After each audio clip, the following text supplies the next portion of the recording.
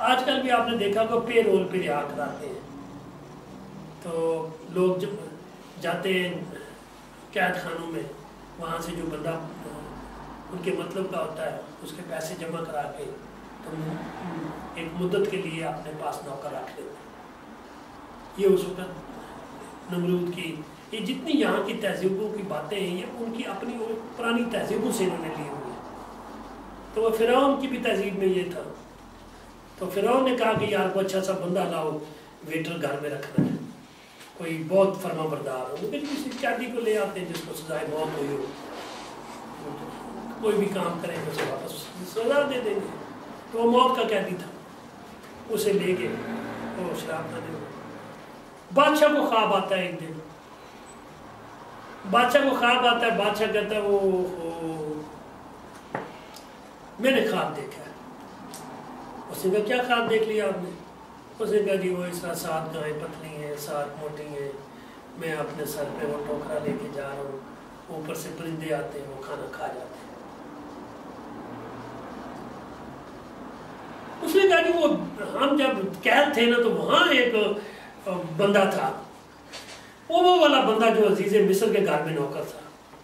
اس نے مجھے خواب کا بتایا تھا اور میری خواب سچی ہوئی ہے۔ میں آج آپ کو شراب سرو کرتا ہوں۔ بادشاہ نے کہا بلاؤ اس کو۔ اب پیغمبر جو ہے وہ ایک ہی چیز کا دعوت دیتا رہتا ہے۔ اور وہ دعوت کیا ہوتی ہے؟ توحید۔ ڈائٹیز کے اختلاف میں خدائے واحد و بزرگ و برتر کی دعوت دیتا ہے اور پیورٹی کی۔ تہذیب میں پیورٹی پرہیزگاری، متقی۔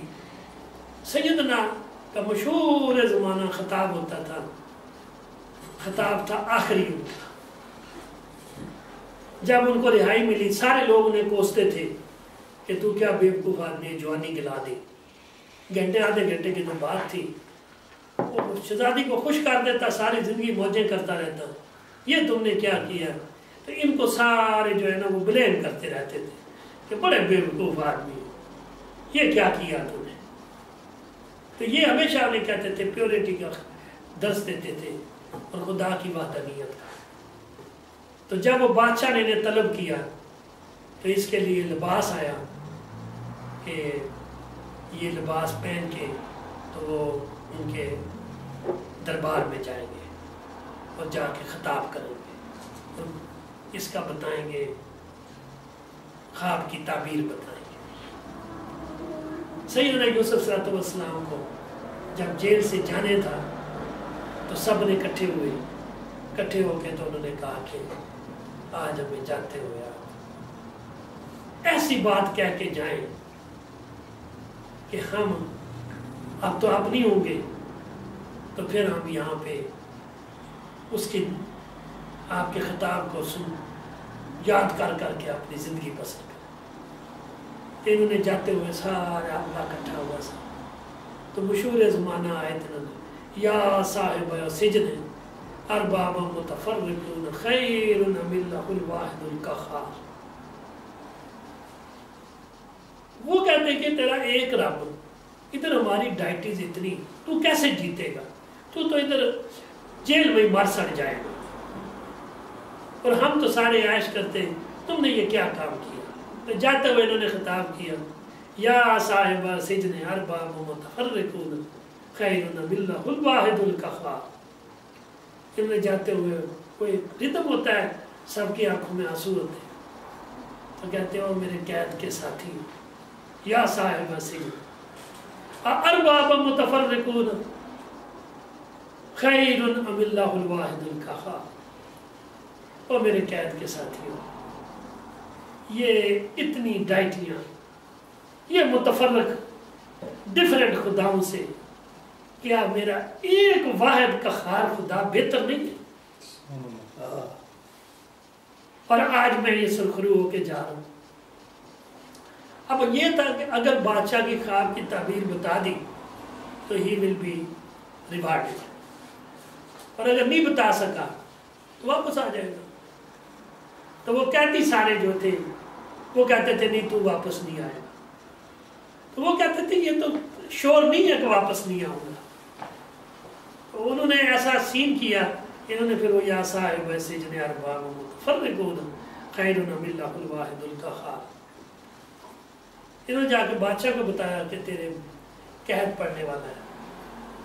سات سال قید رہے گا سات سال خوشحالی آئے گی، پھر سات سال قید پڑے گا۔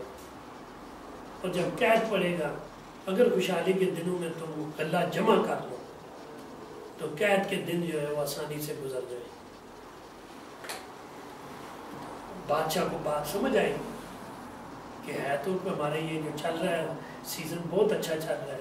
آپ کو پتہ جب سلاب آتے تو اس کے بعد پھر ڈرافٹ آتے۔ اور جب ڈرافٹ آتے، پھر سلاب آتے۔ تو اس نے بادشاہ تو بادشاہ ہوتا ہے۔ اس نے کہا، بندے نے بات تو اچھی کی ہے۔ اس نے بلایا، بلاؤ یوسف کو۔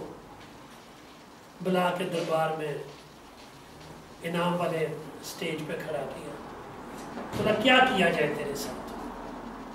کیا چاہتا ہے اس نے کہا دیکھو، بات یہ ہے کہ یہ بات میں کہہ رہا ہوں، یہ فنانس سے تعلق رکھتی ہے اکنامکس سے تعلق رکھتی ہے۔ اور تمہیں پتہ ہے کہ میں ایماندار آدمی ہوں۔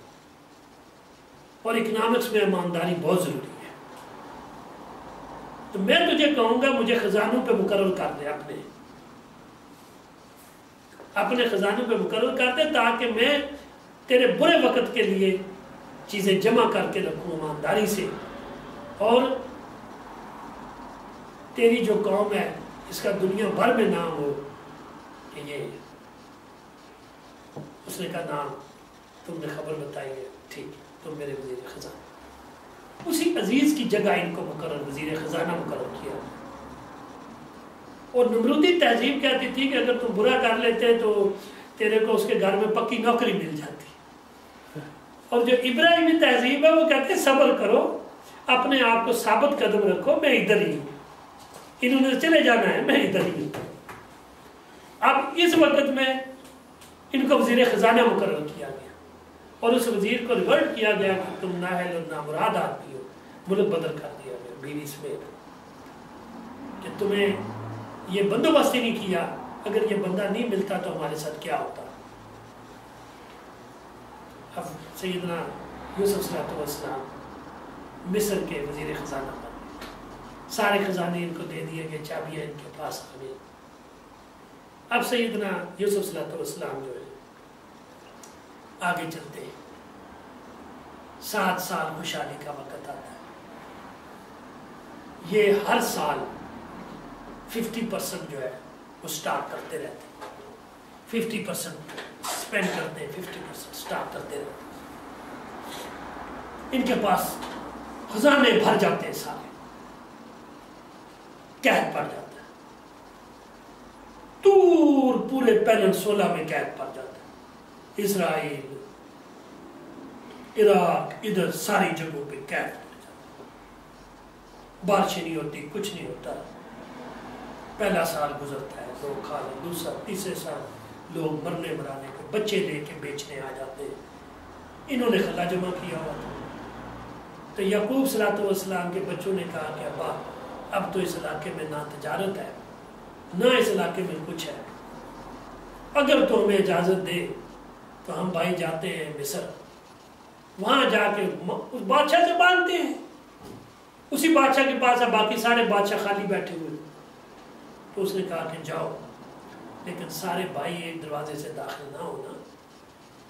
تو یہ بڑے لمبے چوڑے خوبصورت سارے بچے خوبصورت تھے، نہ ٹونڈی یوسف۔ یوسف بلکہ قد میں چھوٹے تھے۔ باقی بھائی بڑے لمبے ترنگے جوان تھے۔ اب یہ مصر پہنچ جاتے ہیں۔ حضرت یوسف تہذیب ابراہیمی کا ہے وہ تہذیب نمرودی کے ہیں وہ تو برائی کر کے سمجھتے ہیں، چھپ گئے۔ یہ اچھائی جو ہے، اس کو وقت لگتا ہے۔ باہر اسے دیکھے، میرے بھائی ہیں سارے۔ انہیں کہا کہ ان بندوں کو میرے پاس لاؤ۔ لایا انہیں بولا، تمہارے گھر کا کیا حال ہے؟ تمہارے گھر میں کون کون ہے؟ انہیں کہا جی، جس طرح والا باپ ہے۔ وہ ایک بھائی ہمارا اس کو جنگل میں گیا تھا تو بھیڑیا کھا گیا تھا۔ تو اس کے افسوس میں وہ بھائی ابا ہمارا اندھا ہو گیا۔ بولا اچھا اندھا ہو گیا بولا ہاں اندھا ہو گیا تو بولا اچھا باقی کیا ہو رہا ہے اس کے اور بھی بچے ہیں بولا ایک چھوٹا بھائی ہے ہمارا بولا اس کو کیوں نہیں لائے بولا اس پہ نہیں لائے وہ باپ ہمارا اعتبار نہیں کرتے وہ کہتا ہے کہ پہلے تم لے گئے تھے بچہ وہ اس کو بیڑیا کھا گیا آپ میرے دس جوان بچے ہو اس کو بھیڑیا کیسے کھا گیا آپ کو اس نے اور بھیڑیا کتنا اچھا تھا کہ پہلے اس نے میرے بیٹے کے کپڑے اتارے، پھر اس کو کھایا۔ اور بھائی، آپ کیسے ہو کہ آپ اتنا کچھ ہوتا رہا، اس کو پکڑ نہیں سکتے۔ اس کے کپڑے لا کے دکھائے تھے نا کہ یہ خون لگا ہوا بھیڑیا کھا گیا اس نے کہا، بڑا اچھا بھیڑیا تھا جس نے کپڑے اتار کے کھایا۔ اب وہ کہنے لگے اچھا تو کوئی ایسا طریقہ کیا ہو سکتا ہے کہ وہ تمہارا باپ تم پہ اعتبار کرے۔ اس نے کہا، شیخ، اگر ہم کو تم مہربان ہو جاؤ، تو پھر ہی ہو سکتا ہے۔ مہربانی کیا کرو اسے بولا، ہمیں اتنا غلہ دو کہ ہمارا باپ خوش ہو جائے۔ بولا، ٹھیک ہے، اپنے اپنے میزان بالو ان کے جو اونٹ تھے، اس کے اوپر جو چھٹ ہوتی ہے، پنجابی چھٹ کہتے ہیں۔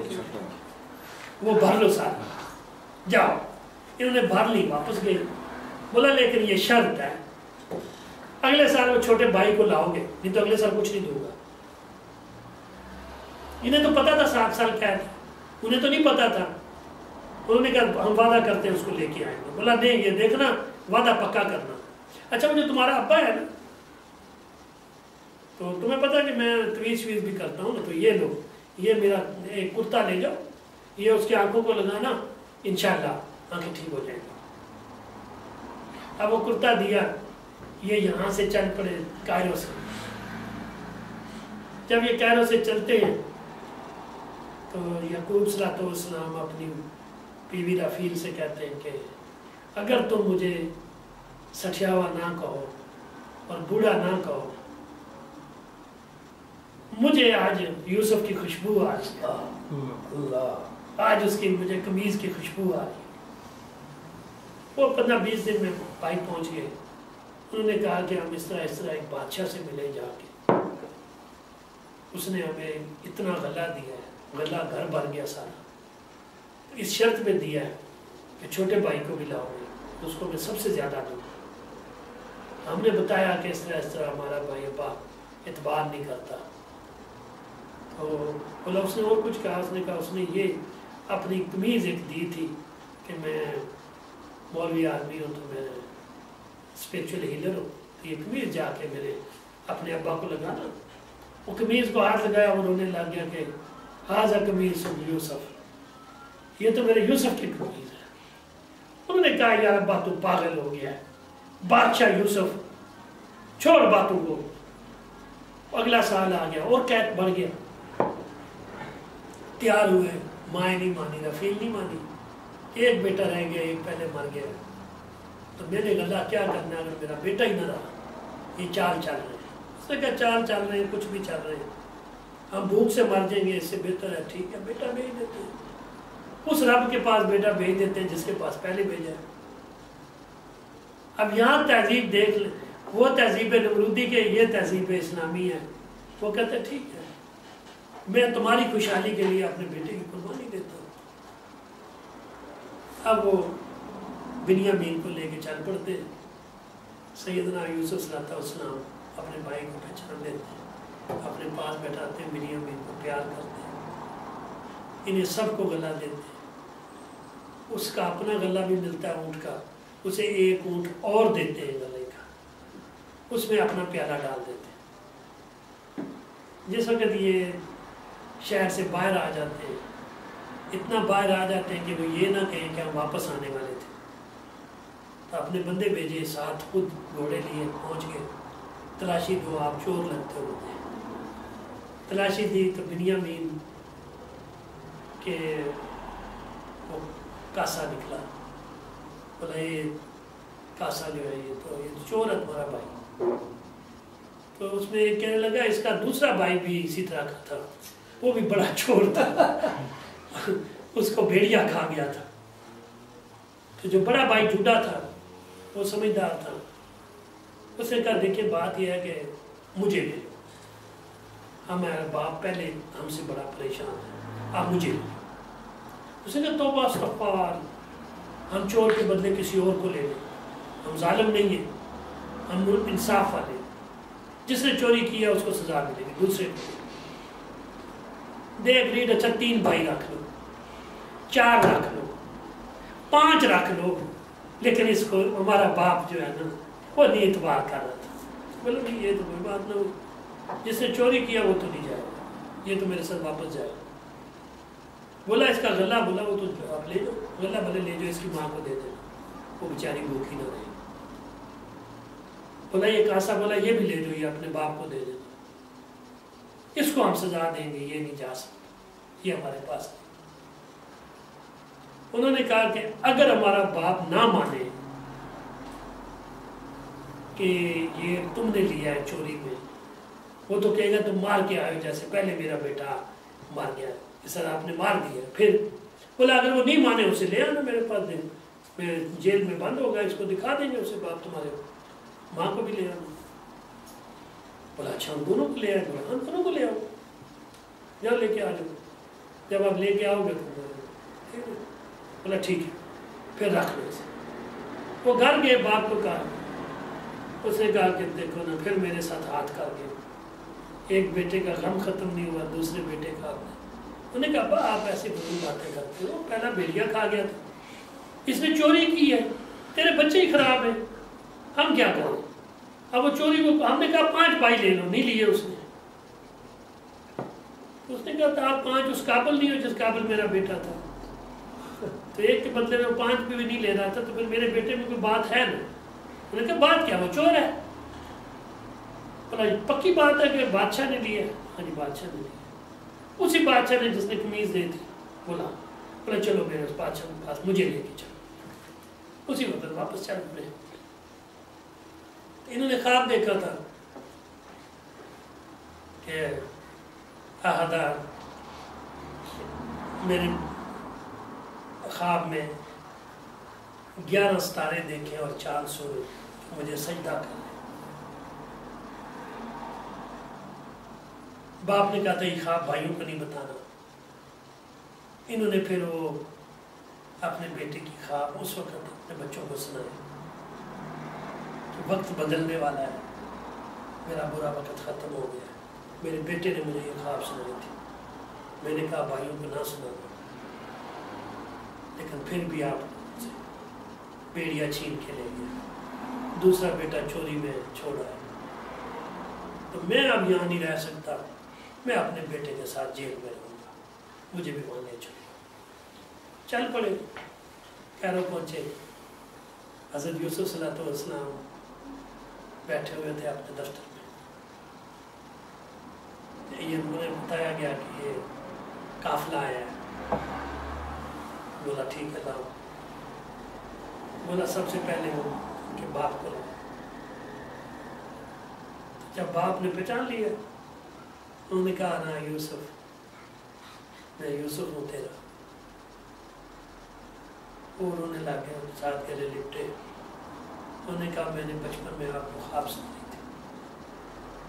گیارہ ستارے اور ایک چاند سورج مجھے سجدہ کر آج خواب اللہ نے سچی کر دی میں یہاں کا وزیر خزانہ ہوں اور میں تیرا یوسف انہوں نے مجھے کنویں میں ڈالا تھا، یہ کیا وہ؟ کیا بولا، بنیامین کی طرح بولا گھر میں۔ میں نے اسے روک لیا تھا۔ یہ اس نے کہا، یہ کاسے والی کیا بات اس نے کہا، یہ میں نے بہانہ لگایا تھا۔ کیونکہ میرا جو حکومت ہے، اس میں نا انصافی نہیں ہو سکتا میرے پاس کوئی قانون نہیں تھا کہ میں اپنے بھائی کو روک روکنے کے لیے میں نے بہانہ کیا تھا۔ اور مجھے امید ہے تم معاف کر دو۔ اب میرے بھائیوں کو بلاؤ۔ بھائیوں کو بلایا، گیارہ بھائی دس پیش ہوئے، گیارہواں تو پاس تھا۔ جب ان تینوں کو بیٹھے ہوئے دیکھا تو بھائی گھبرا گئے۔ یہ تو کام خراب ہے۔ اس نے کہا، میں نے معاف کیا۔ آپ نے زمانہ جہلیت میں یہ کام کیا ہے۔ نمرودی تہذیب میں کیا ہے۔ ابراہیمی تہذیب اس کی اجازت نہیں دیتی۔ میں اپنے سارے بھائیوں کو معاف کرتا ہوں اور میں سب کو اپنے حفظ و امان میں لے لیا۔ اور میں نے بادشاہ سے بات کر لی۔ سب کو یہاں پہ زمین، مکان، ہر چیز دی جائے۔ یہ پھر قبیلے وہاں آباد ہو گئے بارہ قبیلے۔ اب یہ بارہ بھائیوں کو الگ الگ اس نے گاؤں دیے۔ سیدنا یوسف نے اور انہیں کہا کہ آپ ادھر کھیتی باڑی کریں۔ ابھی سات سال پورے نہیں ہوئے تھے۔ قید ختم ہونا شروع ہو گیا۔ ان کے ہاں اس کے بھائیوں کے ہاں فصل زیادہ ہوتے تھے۔ غلہ زیادہ ان کا ہوتا تھا۔ تو بادشاہ اور خوش ہوا۔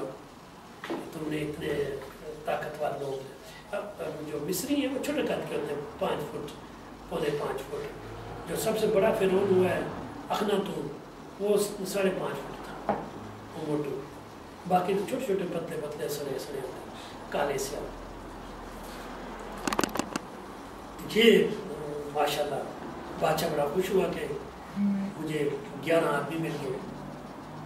اب یہاں پہ تہذیب اگلی چلنی شروع ہو گئی۔ اب سعید یوسف صلی اللہ وسلم نے یہاں پہ ریفارمس کی۔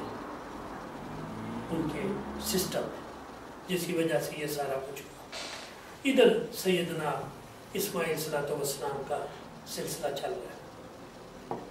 اب